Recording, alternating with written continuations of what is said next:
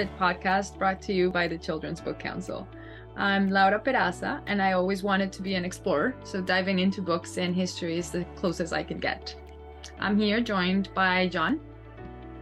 Hi, I'm John McCormick. Uh, I have a thirst for knowledge, and I'm so excited to have Laura educate me on some awesome things in literature history with this podcast, where we're finding the fun in history by trying to figure out what makes history lit. Fun.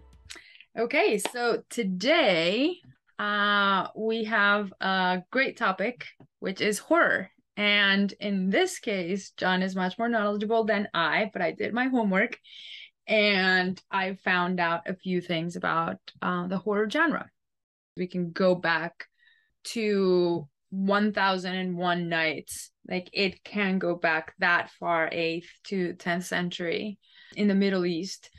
Then it goes to Gulliver's stories and voyages and Mary Shelley. But before we get to Mary Shelley and Frankenstein, we first must stop at the Enlightenment. So in the Enlightenment time, like during those times, it was all about building a society in a better way. And all of this came with rationality. It was the rationalism movement.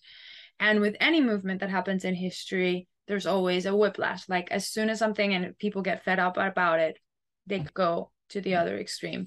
And that side was the romance movement, which uh, brought with it a lot of stories that were more fictional and popular and fantastical. Within that, we find the lovely Gothic literature movement, which, you know, late 18th century. And this is where they thought romance movement in general wasn't taking it far enough. So they took it one step further with mystery and terror. And at the beginning, it was settings and situations until it came more towards the psychological side of things. So actually, the novel that is considered the first Gothic novel is by Horace Walpole. It's called The Castle of Otranto, and this one uh, used a lot of secret passages, trap doors. There were p- pictures moving on the walls, things that we still to this day look at and see in the literary horror genre. Near that time, we also find the wonderful Ann Radcliffe's uh, Mysteries of Udolpho and in this one, she took it one step further with supernatural terrors in a gloomy castle. So she took that setting and then just gave us these archetypal, now archetypal uh, Gothic elements. Highlighting these two were the precursors for Bram Stoker and Edgar Allan Poe and Robert Louis Stevenson and Mary Shelley and all of them. And there's a fascinating story that that we have about Frankenstein. Picture it France, 1816, Lake Geneva. Lake Geneva. Mm-hmm. Mary Shelley, Percy Shelley, uh, Lord Byron, and Dr. John Polidori went on a three-day retreat. And I think someone, I think someone named Claire Clairmont. Fun fact, Mary I love it. Shelley's stepsister. I was think she, she was her stepsister. I don't know, but like she went and there was some yeah. like romantic behind the scenes things going Happening. on with like different yeah different like settings yeah. Well they they were very liberal like these these literary groups in those days. Like sexuality was one of the ways that they were expressing their I views. think she I think she fancied herself some Lord Byron. Like a lot of the the air the the people of the time. Yeah. Because Lord Byron is like Oh, he was a celebrity. Like people, like ladies were fangirling. There's there's oh, yeah. actual fangirling, if you will, letters to to Lord Byron. Like they were just swooning. Just like a he 19th was, century yeah. Brad Pitt. Oh, just... absolutely. Yes. And no. This... John Polidori was his doctor. Okay, so um fun coming fact. back to this, this is absolutely fun fact. So all of these very interesting people gathered to tell ghost stories and they started challenging each other to to write one, right? And Mary Shelley's challenge actually ended up in a little known book called Frankenstein. Small, tiny Small, little book. tiny, yeah. not did not change the face of literature no, at all. At all. I mean, with this book, clearly inconsequential, uh, she warns of the dangers of science, of the lack of moral direction. She touches on isolation, on the importance of family, like all these deep seated issues that were not easily talked about, right? And we go back to, uh, I mean, great, great book. Thank you, Madam Shelley. And we go back to Dr. Polidori's book. He also wrote one of the stories, and it was The Vampire. And his main, main character was a vampire, right? And it had some similarities to Lord Byron, I'm told. A little bit. Right? A little bit. Mm. A, a little too close to where Lord Byron sort of kicked him out of his circle, which sent Polidori into a deep, this like deep, deep depression. Because he he ah. promised it. He he it had nothing to do with Lord Byron. It was just how they came up with it, and that this was just the character he came up with, and it it it really took a toll on Polidori's life, and eventually took his life. Oh, that's so sad. Yeah, it was a very sad time, and it was just, and it's because these people were telling ghost Those stories. So like. Lord Byron was reading ghost stories of the time when they were all at this dinner, Mhm. and then he challenged everyone to write a better ghost story. Oh, and this So just ma- became And it became Frankenstein, it became the vampire, Right. it became like there's a bunch of like weird stories right. that like Percy Shelley ended up having like these like vivid nightmares because of these ghost stories.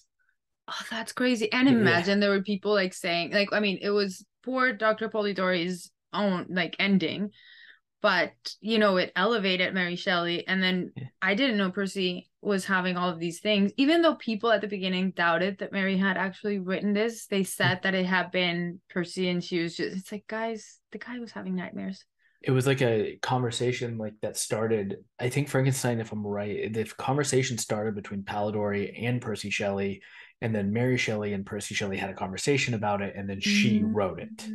Like, And it this is how, yeah. and it was all just because of this one random weekend getaway Yeah. I, I want I want some inspirational Yeah, weekend right. getaways like going that. to a beautiful like gothic castle I mean, I would not mind a villain Yeah. Lake Geneva. Like lake geneva yeah absolutely fine. I'll sacrifice my weekend. yeah, Like it's absolutely okay. yeah. I'll, I'll be there I'll, I'll, I'll buy the plane tickets it's fine Perfect. I love it. Um, okay, so coming back to the story.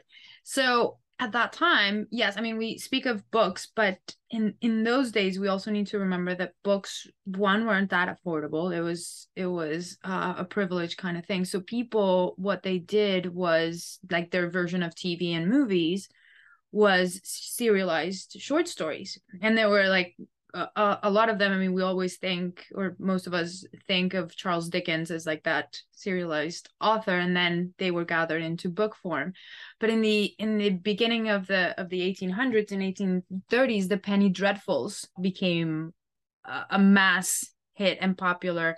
You know they were just cheap paper. They costed a penny hence the name but they basically shaped literary horror. They they differed a little bit from gothic literature as like the books because these stories were crafted in more realistic settings. So it wasn't the castles of of dracula but it was more what people would find which was honestly like at least to me a lot more terrifying because like you can see yourself in this and like some of these stories we still to this day know like sweeney todd and varney vampire and spring-heeled jack like mm-hmm. these are settings and they are quite scary. I mean you go to these people you go to the barber and then you don't come out.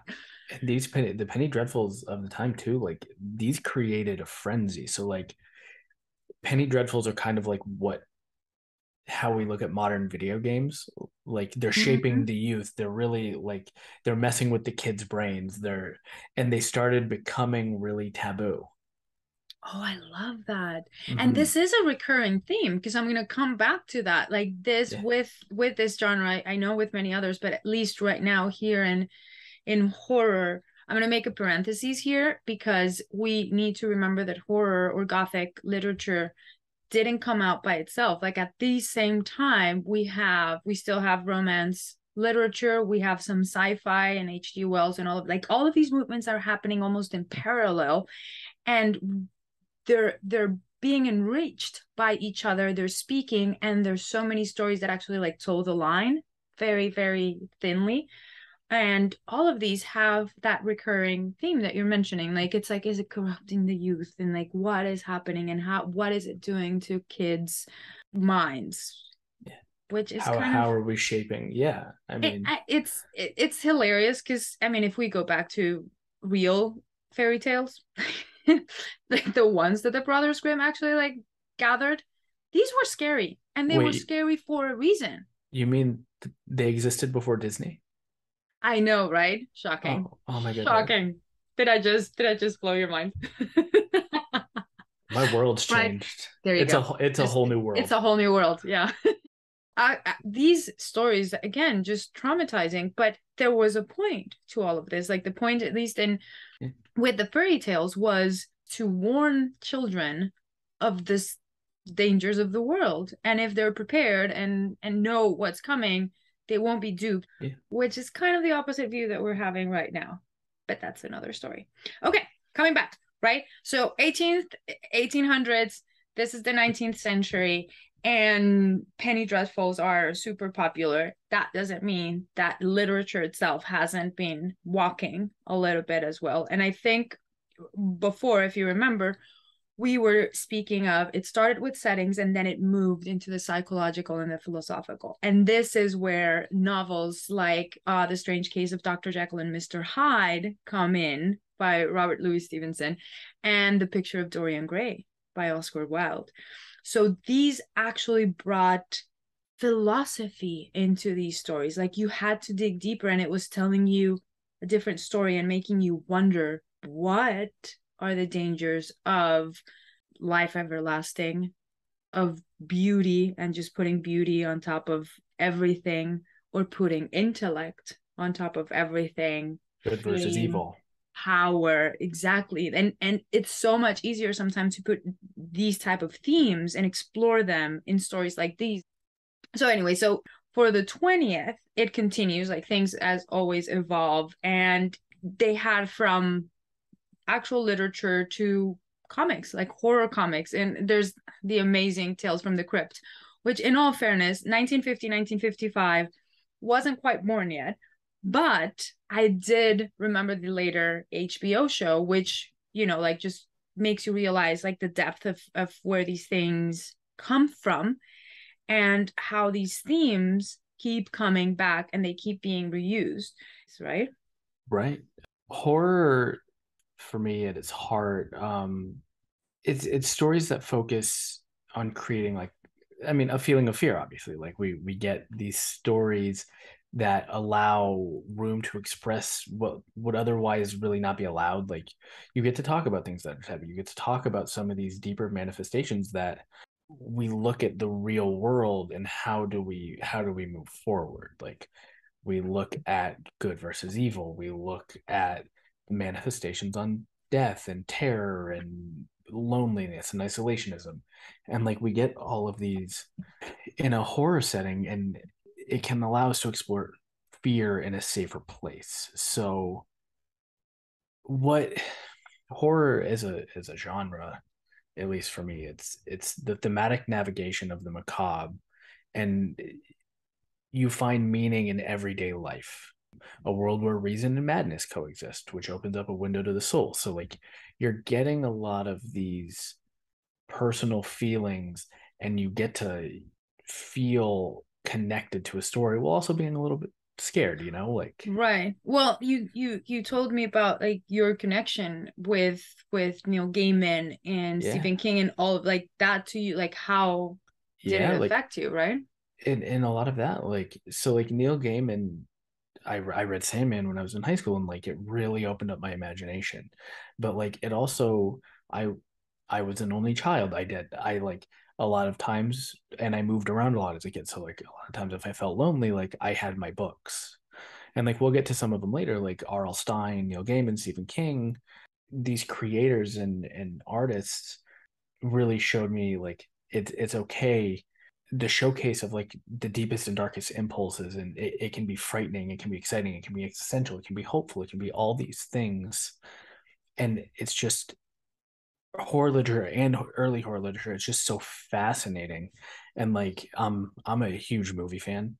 So like seeing like how modern cinematic horror has like always taken the roots of like some of the these older horror literature and like it's taken the roots of its predecessors and it's created I mean for me it's created just like fresh scares for like future like all the future generations. So like I Mm. grew up in the watching all those like meta 90s horror movies. Mhm. So like Scream, I know what you did last summer. Oh yeah.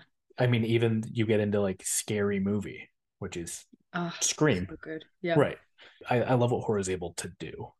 Right. But I and I think it comes back to what you were saying. It's it's the themes. It's the fear which is constant. Like we as humans have that fear and we have these feelings, emotions, empathy, and it doesn't matter if it's a vampire or if it's the fear of going outside, like whatever your level or where it's coming from, you can relate to these stories. And I mean, there's a reason we keep making Frankenstein over and over and vampires and we reinvent them. Themes are always there and they're so inherently human that it's kind of like we have window dressing and that window dressing is delightful and it's Yeah. beautiful and we want to see it and we want to see how all of these different people interpret that.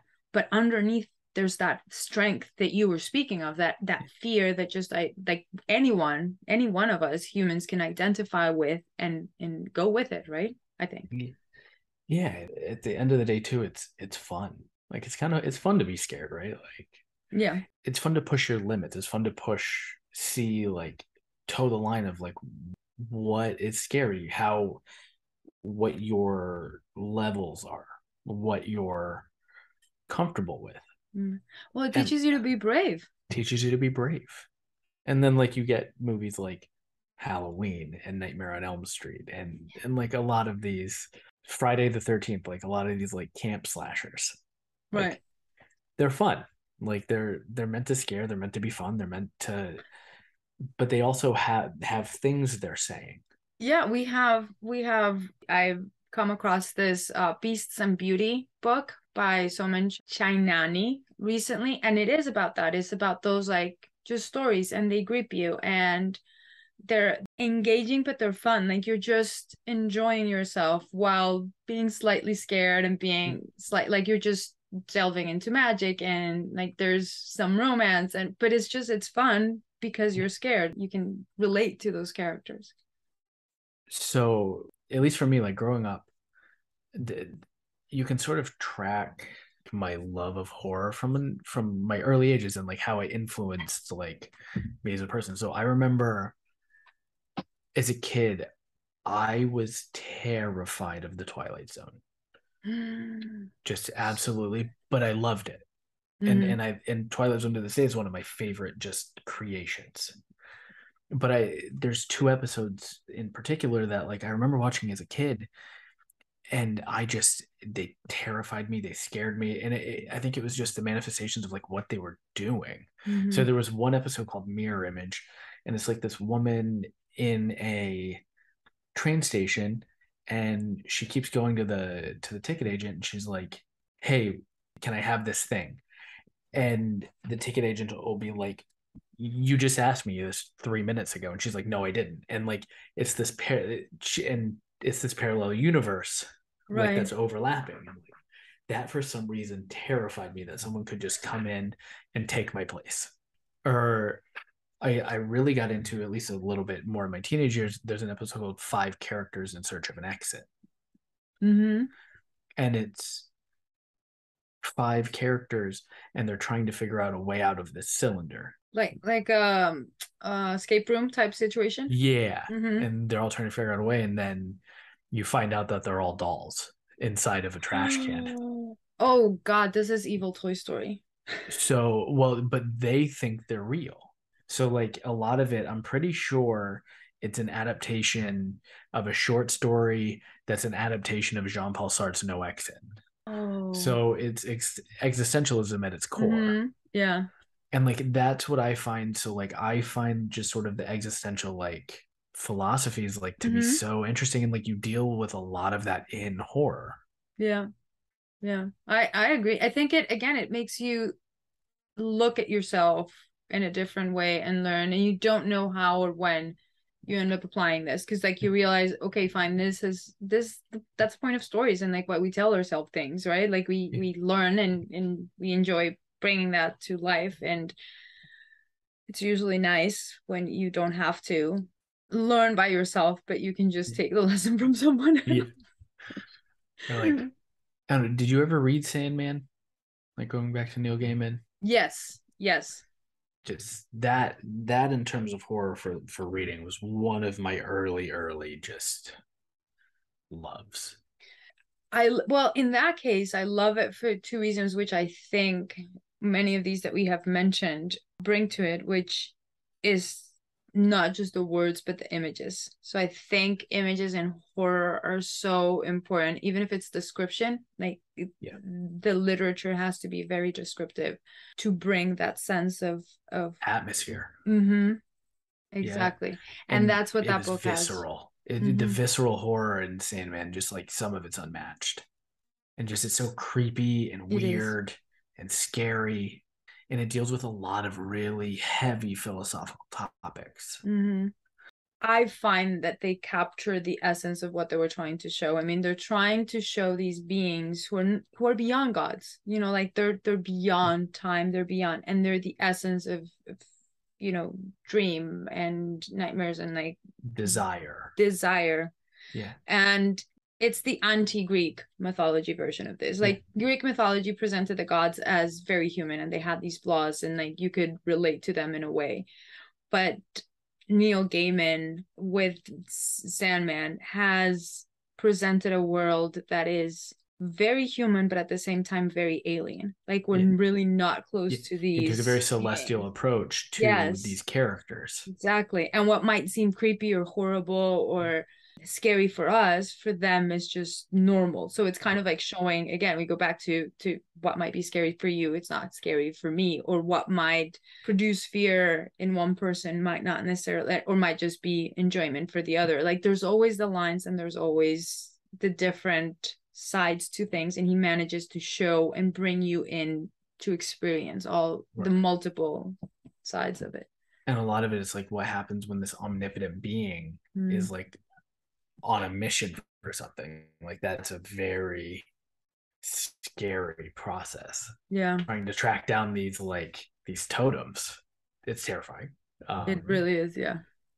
and then going back to the way I view horror, it's just like it, there were there were periods of time in which I found different horror creators. Um, so Neil Gaiman was very much how what I equate with my teenage years, hmm but like Twilight Zone is sort of the bridge of like kid to teenage. Like I found it when I was young, but then like got more and more comfortable and like you go to Disney and you do Tower of Terror. Oh my God. Yes.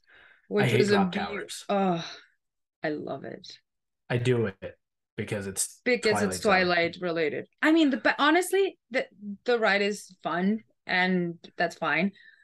But to me, it's always been the story, like the way they capture that hotel. Yeah. And I was watching these um Disney Plus as a thing, and they speak of their of their rides. And in this one, they had to recreate the entire thing because there wasn't a Twilight Zone story that matched this one or matched what they needed to do. So they recreated and they managed to get the tone very, very correct.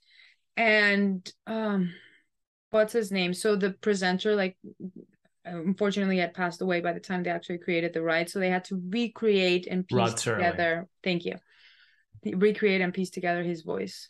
It Yeah. was But- and for the younger audience, this is the original Black Mirror. Like this is all you need to know.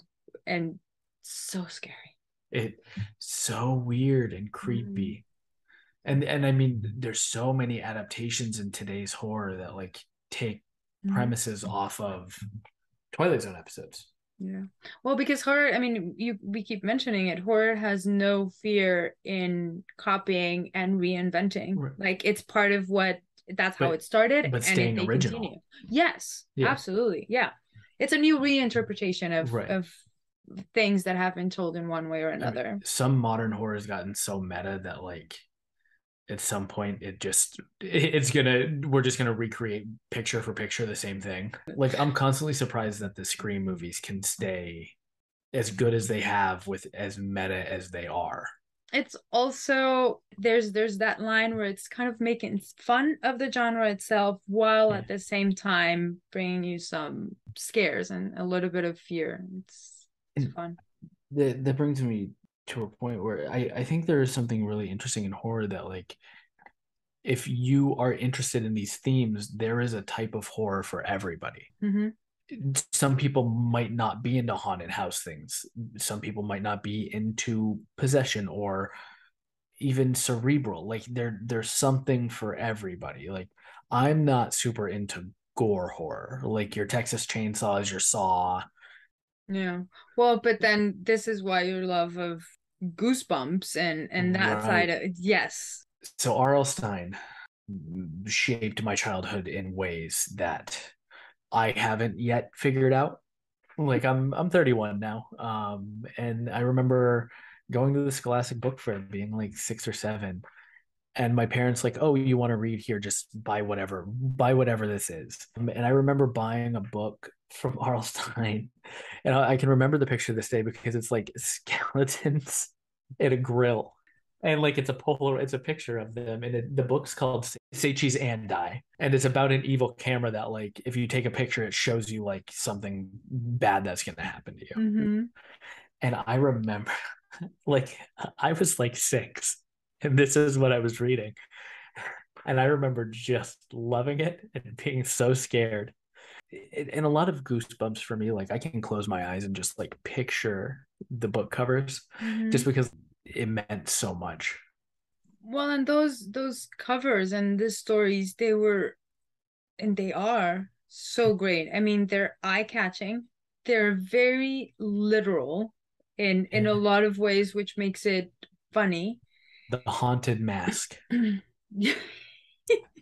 And it's It- just about a kid who puts a mask on and then can't take it off but it's you haunted and it's great I love it. And also, they're short. You can just go through them and kind of like dive into the story and come back out and enjoy it multiple times, which is it's very penny dreadful of them. They don't cost Yes. a penny, sadly. I mean, good for R.L. Stine, he needs his money, but um, this was the 90s though so it was like it was closer yeah. we could still buy more books. It's i still just love that it was like hey you know what we should give the youth of america? Nightmares. Yes. scare them all. I i love amusement parks right? Mhm. like i from florida go to disney go to universal all the all that jazz. And there was one called well or one day at horrorland. And it was about a evil amusement park and i absolutely loved it. And i was terrified of amusement parks for a minute So okay, before we close out, we people want to know yes favorite horror graphic novels. Prepare your So, pens. Great book yes. list right here. i um little little backstory is i i am very into just graphic novels comics in general i Mhm. i work and i work in a comic book store so graphic novels are something near and dear and i i find them the educational value of comic books in general like for early readers for middle readers for for any type of reader like comic books and graphic novels are fun. And they're sometimes like we're all busy adults like we sometimes we also just don't have time to like dive into a full book and uh, not a lot of us have the the chance to listen to audiobooks. So like graphic novels are a really good way to get like bite-sized horror. So here we go. Um there's a book called spectre inspectors by boom studios that i absolutely adored it's like those true those true crime ghosts like haunted house shows like the people that go into the haunted house Oh, to yeah, like yeah. find the ghost that's Uh-huh. it's about this like teenagers or like maybe young adults and they go into they're trying to like crack this haunted house like figure Mhm. out the ghost and the poltergeist um and it's very inclusive it's really fun um i love that book mason mooney from flying eye is fantastic Yes. it's just it's the trim size is great the art is great i that book is fun Agreed.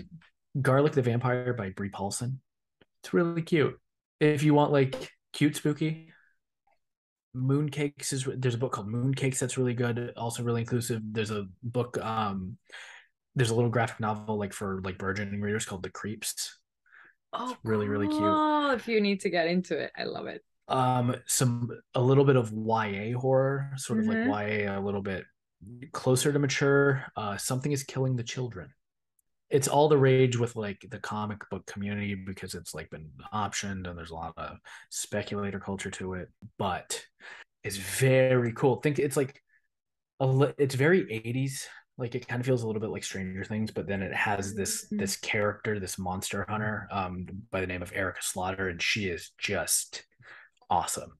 Like for a, for a protagonist, like she's really cool, and it starts getting into the or like this sort of order that trained these monster hunters, and you start getting into really rich backstory, and it's really cool. Oh, I love that. I I have I have one that touches on this as well. Dead Flip by Sara Farizan. Stranger Things vibes Yeah. and it's Halloween 1990s. Yeah.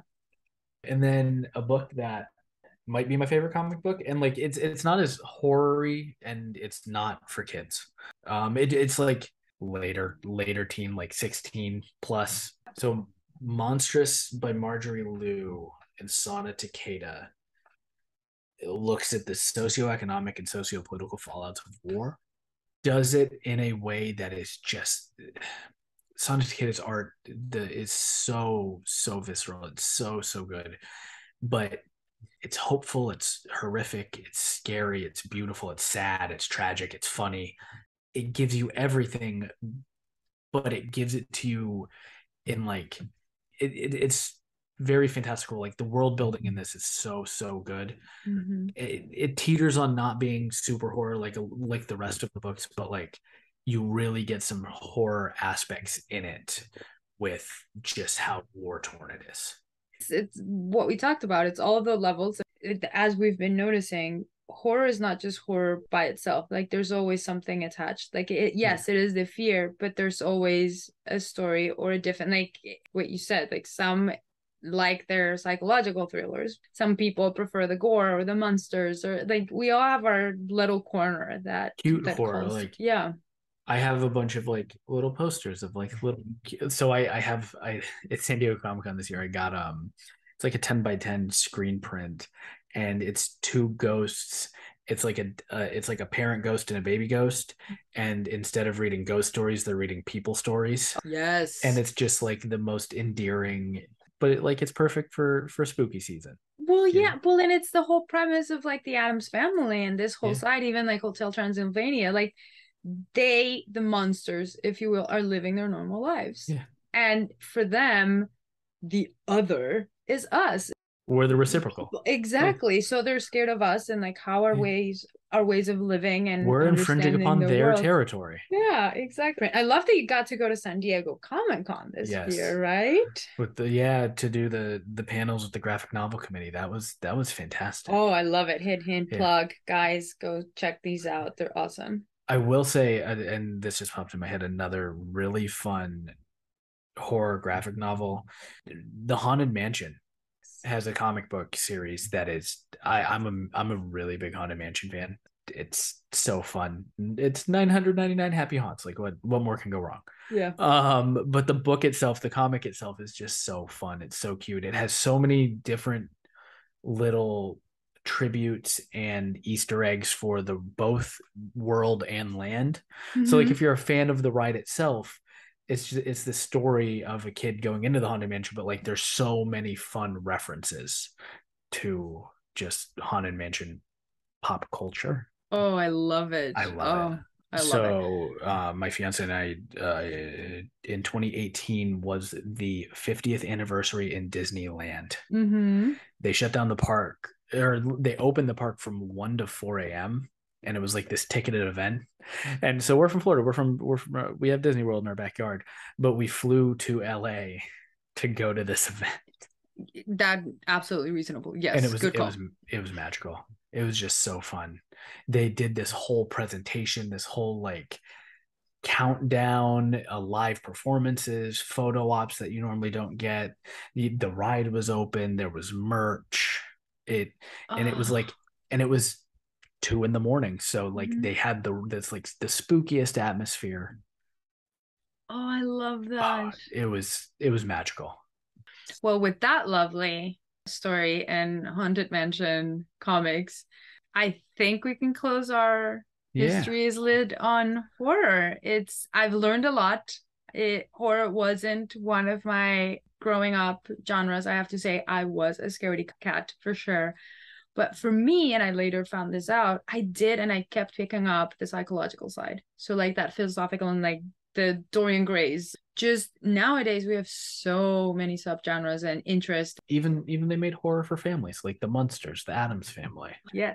And this is where that unity, like the lanes of the genres, when they meet, it's so important. It's that's what you're finding so enriching right now when you're just finding new ways to look at horror and and even something we haven't really touched on, which we will touch on in a future episode, and especially pertaining to Mary Shelley's Frankenstein, it's science fiction. So a lot of horror, and we haven't really touched on a lot of science fiction, but science fiction can be horror, and horror can be science fiction. So like those two share a lot of similar qualities, but that's something we'll touch on in another episode. So that's where uh, we invite you to come back next episode for more journeys into book history. Uh, this is History is Lit podcast, and it was brought to you by the Children's Book Council. You can find out more about these topics and many more at cbcbooks.org slash history is lit. Bye. Bye.